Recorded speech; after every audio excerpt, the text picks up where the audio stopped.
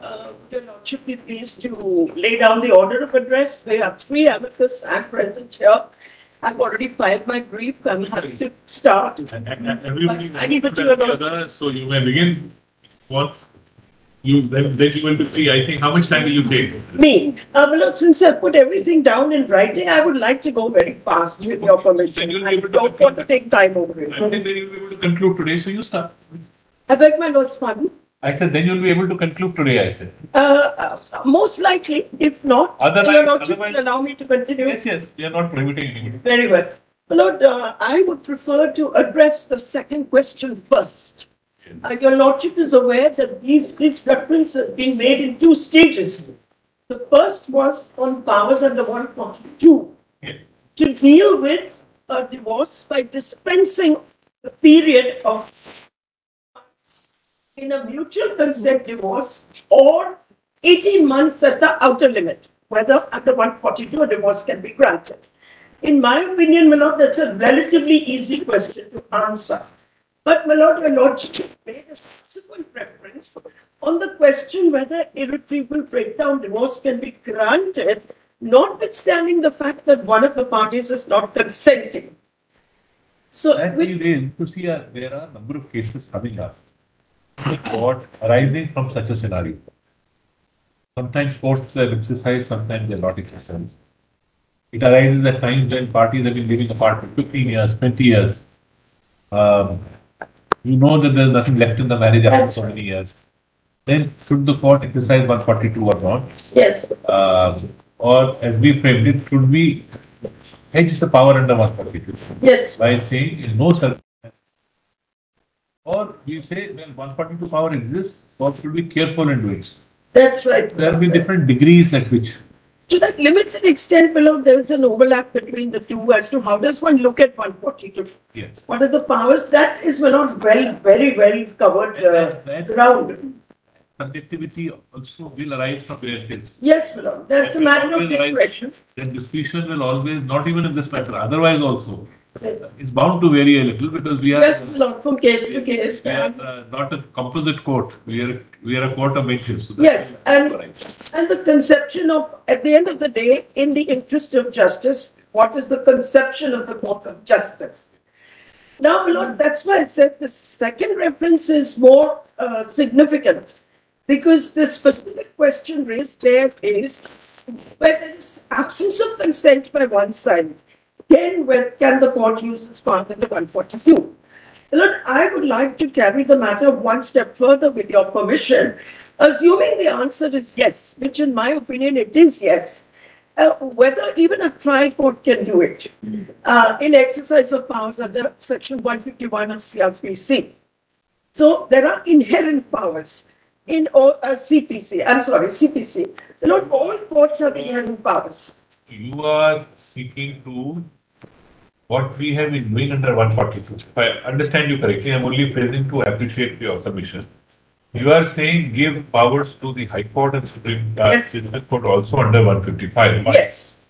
The only, um, you may, in your own way address it, the only impediment seems to be that despite recommendations of the law commissions to the disputable breakdown of marriage. Yes. The legislature has been reluctant.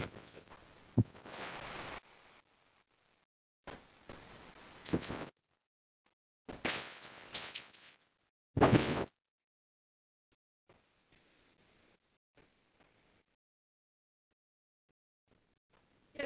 Right, so both So we, we don't do one forty-two like just saying that we grant it. We say, okay, what is that you need? How do you need to maintain? So Yes, Lord. it's a balancing which we do. It is. But, my Lord, I would, uh, I would, I have, but the way I have visualized it is, that, uh, what is the public policy uh, that governs the determination outcome? Now, my Lord, uh, it has always struck me as very strange that our matrimonial laws, they tell you what is the capacity to marry, what is the formality required for marriage, what is the way in which you can exit a marriage. But to the best of my knowledge, there are very few judgments which actually give us an idea of what exactly marriage is all about. Uh, perhaps, my lord, it is incapable of definition. And that could be the reason why we don't find too many judgments. So, my lord, the way I've approached the issue is I begin by trying to explain with reference to case law how courts have visualized what a marriage ought to be. And then move on to the question that if that is not what the marriage consists of, as my lord put to me, is it dead? Is it an empty shell? Is it incapable of resolution? Then you reach the question, what now do we do? after this. So, Milot, it's very, very important to address the question exactly what, under all laws, under all theories of justice, under all theories of matrimonial law, how does one conceive of the institution of marriage? So, Milot, if you turn to my amicus brief, I put it up.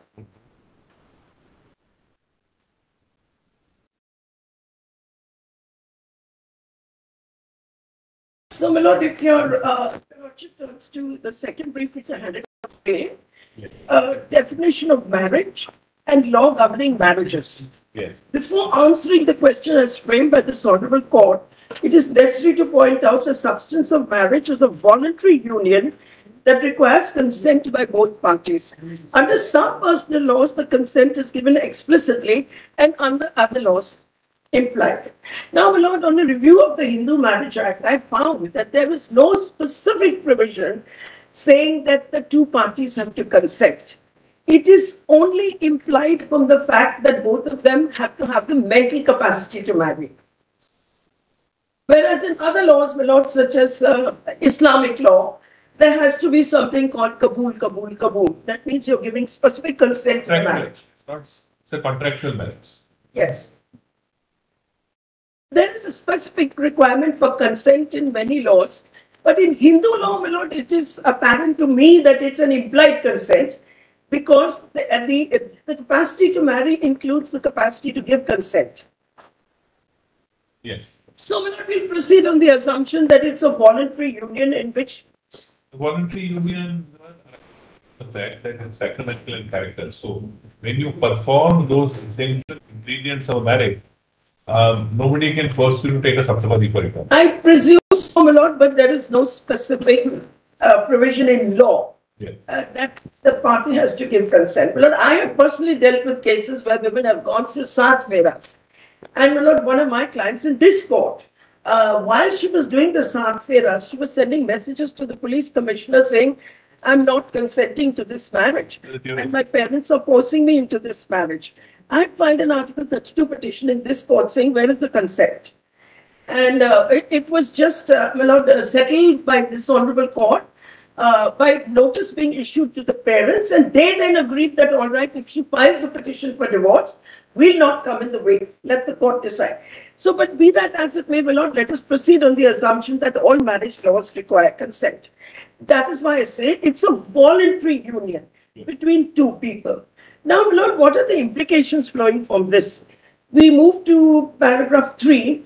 All statutes with marriage and divorce, namely Special Marriages Act, Hindu Marriages Act, Divorce Act, Parsi Marriages Act, Dissolution of Marriages Act, Muslim Personal Law, Shariat Application Law, deal with capacity to marry, the procedure prescribed for formation of a marriage, and the manner and method of termination of marriage and divorce. However, strangely, none of them define what is marriage and or what happens during the subsistence of the marriage. Before dealing with the question of irretrievable breakdown of marriage, it is necessary to deal with what exactly is marriage. Now, in other countries, uh, notably Lord Canterbury versus Canterbury, 1964 Australian uh, uh, law reports. Unfortunately, I was not able to access this judgment. I've taken it as reproduced in a judgment of the Delhi High Court, Harvinder Kaur versus Arvinder Singh. But your lordship may find a copy in the judge's library. I'm not sure whether this copy will be available, but this is what it says. Companionship, love, affection, comfort, mutual services, sexual intercourse, all these belong to the married state. Taken together, they make up consortium.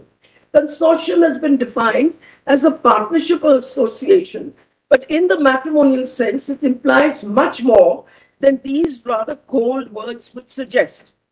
It involves the sharing of two lives, a sharing of joys and sorrows of each party, all their successes and disappointments. In its fullest sense, it employs a companionship between each of them, entertainment of mutual friends, sexual intercourse, all these elements which, when combined, justify the whole common law dictum that a man and a wife are one person. Now, my lord, this That's fine.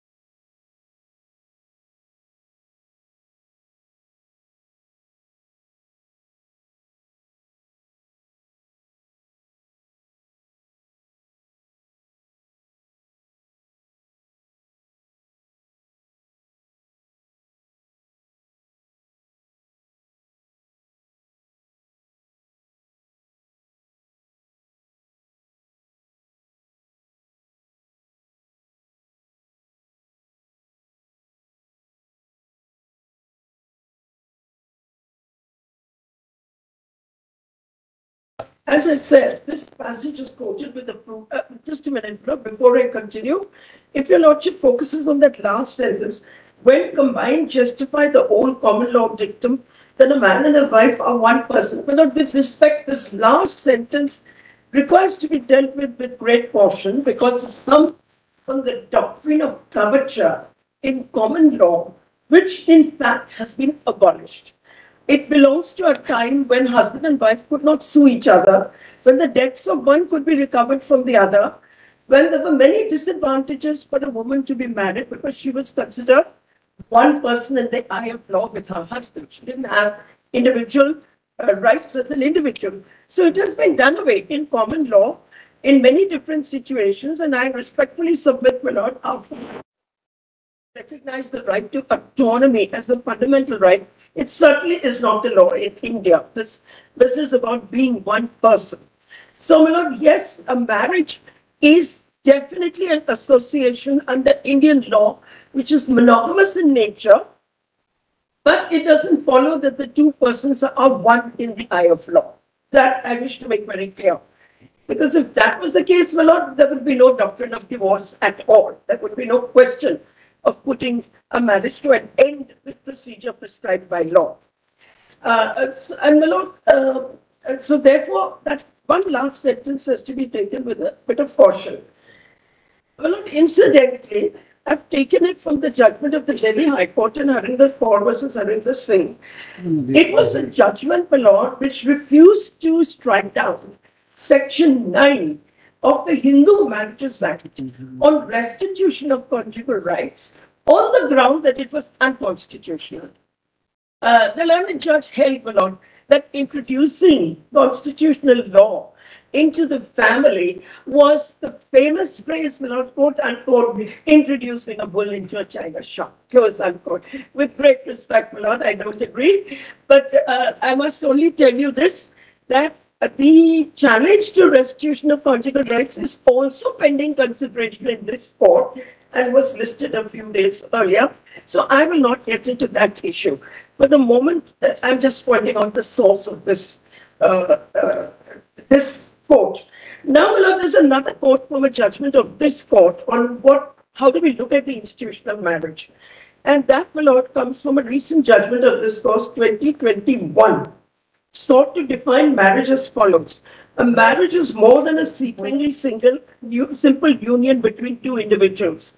As a social institution, all marriages have legal, economic, cultural, and religious ramifications. The norms of a marriage and the varying degree of legitimacy it may acquire are dictated by factors such as marriage and divorce laws, prevailing social norms, religious diktats. Functionally, Marriages are seen as a site for the propagation of social and cultural capital as they help in identifying kinship ties, regulating sexual behavior, and consolidating property and social prestige. Families are arranged of a mutual expectation. But I would like to emphasize this sentence. I believe one of my laws was a party to this decision. Families are arranged on the idea of mutual expectation and support and amity that is meant to be experienced and acknowledged amongst its members. Once the amity breaks apart, the results can be highly devastating and stigmatizing. The primary effects of such a breakdown are felt especially by women who may find it hard to guarantee the same degree of social adjustment and support that they enjoyed while they were married. Now, this I rely on for two purposes. One, it gives a good description of what a marriage is meant to be. And two, a lot what happens when that amity, expectation of amity is gone. Can you still continue to call it a marriage? That would be uh, that would be how I would address the question, Malone. And if you cannot, then what are the powers of the court to set the marriage legally asunder? Now, Malone, just one comment over here. And uh, Malone, in law, marriage is generally considered a matter of status and it is considered to be a status in rem rather than persona. Because, my lord, it is a declaration to the world at large uh, that you are entitled to deal with this couple as a married couple. It's like a holding out doctrine. You hold yourself out as a man and wife, and you socialize together, etc. And then, as this court says, it has implications such as legitimacy of children, um, welfare of the children. And that is why it's considered a matter of status, not just a matter in persona. Similarly, a decree for divorce is also considered a matter of status. It again is a declaration to the world that I am no longer married to this person. So both are ma- uh, matters of uh, persona, I'm sorry, rem, and both, uh, the a divorce decree is always considered a decree in rem. That is the status part of it. So, my lord, the, the, uh, one of the sequiturs of this argument would be, why is it that a court of law has to give a decree for divorce? Why is it that I can't agree with my husband that you and I are divorced and that's the end of it? Because it's a matter of status, because it's a decree in rem. And that is why, my lord, the power to grant a divorce is vested in a competent court of law. So the competent court of law will then look into all these other matters before pronouncing a decree for divorce because it has ramifications for people beyond the two, two concerned. All this, my lord, I will link up with my argument that the court ought to grant a decree, decree for irretrievable breakdown because all the factors that are essential to a marriage have disappeared. They, they no longer exist. The only question is how to separate amicably. There is no other question for consideration. And of course, the other question for consideration is welfare, more particularly of the wife and the children. I am in strong disagreement with judgments of this court which, which seem to indicate, and I believe that the union has filed an affidavit, not in this court, but in the restitution matter, saying that marriage is a sacrament and it is the public policy of India that we don't break marriages. Well, it is the public policy of many countries in the world. Two different things. Sacramental is how a marriage is made. Maybe contractual and sacramental. Whether marriage can break or not is not in doubt with the divorce provisions being there in all the things. Being fine. Now, issue is that uh, under the Hindu Marriage Act, uh, Hindu, uh, the divorce is uh, the whole thing is based on a fault theory. That if you I have understand. fault, uh, you can't take advantage of that fault. I understand. Section But- 23, but subsection 1. Irretrievable breakdown would have been a ground reality of the situation without getting into a blame theory.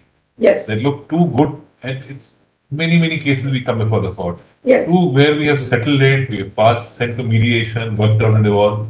Two very good people may not be good partners. It's, uh, that's one of those things. It's not necessary that sometimes uh, we have come across cases that people have even lived together for a period of time. Then marriage breaks down. So Well, being companion is different. Being married and in the rigors of the marriage, how it works out are uh, different systems. Well, I understand that in order to answer this reference, one will have to get into the difference between fault theory of divorce Yes. and no fault theory of divorce, without any doubt. But, my lord, it's not such a black and white issue. The way I'm going to present it is there is an overlap between the two. And it's going to be my submission that every marriage where that a petition for divorce is filed, and you know from experience, there are allegations and counter allegations. You have never seen a petition in which only one person alleges something and the other does not. There is always that claim and counterclaim by two sides. Then the question comes, are you going to look at the fault theory? Uh, because section 23, subsection 1A specifically says that no party can take advantage of its own wrong. And lord, the fault theory in Indian law is smuggled in through section 23A. No person can take advantage of their own wrong. And my lord, sometimes your lordships have used the expression, people who come to court must come with clean hands. That's the Yeah. limited role of the fault theory. The fault theory has no role beyond that. That's my submission, my It lord. also, to my mind, very subjective. What is the fault? See, somebody may say there are allegations made. She does not get up in the morning and give my parents tea. Is it a fault theory? Or somebody, you could have done the making of the tea better, maybe. Then, uh, so, you know, a lot of them are arising from a social norm. Social norm where you think that the lady must do this or the gent must do this. And from there we attribute faults. So this is another concern I we I have that uh, what we attribute as fault is not really a fault, but it's an understanding of a social norm, how a particular thing ought to be done. Changing social. And A changing social very- norms is, is, is very important. very rapidly changing norm. Rapidly changing norm in terms of every couple of years this norm changes. That is the ground reality.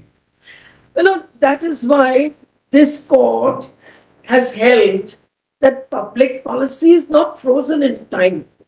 Public policy, the West Bengal case, the, the West Bengal, I forget the exact cause title, but in the, where below the Henry VIII clause was challenged in this honorable court, which allowed for unilateral termination of a contract.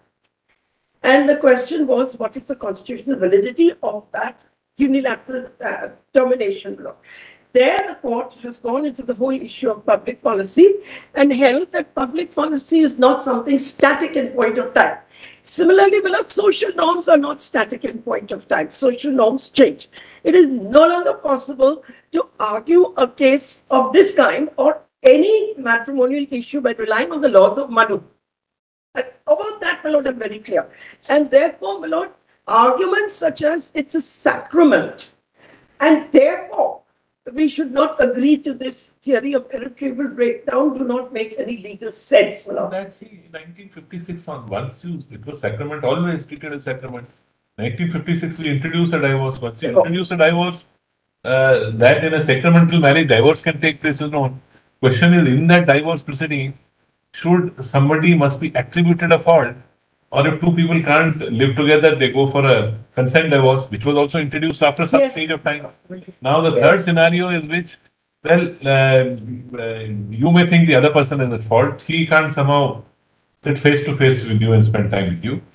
So if the court comes to an opinion that this marriage is not uh, capable of any reconciliation, then there's no point in a, in a, in a actually pointless marriage, uh, which is, as you say, the fundamentals of marriage are absent. And uh, the only other thing is that what terms the marriage should take. You take in, uh, protection and protect the women in whatever way. Sometimes women are actually better off than the men, so they don't even. They, I've, we've seen cases where they agree that as long as this. I, I've seen cases where normally the women resist. The man was resisting. I said, "What's your problem?" She doesn't want anything. She is has a better capacity to earn, a better position, but the man doesn't want to let go. I, I've exercised 142 even in those cases and granted saying that this is being obdurate unnecessary. Yeah. People have not lived for a couple of years, Yes, it works now today works both ways. yes, Say men to resist, because the law is men gender to neutral. resist. The law itself is gender neutral, the law. Yes. It will work both ways. Can we carry on tomorrow? Yes, and the Your Majesty,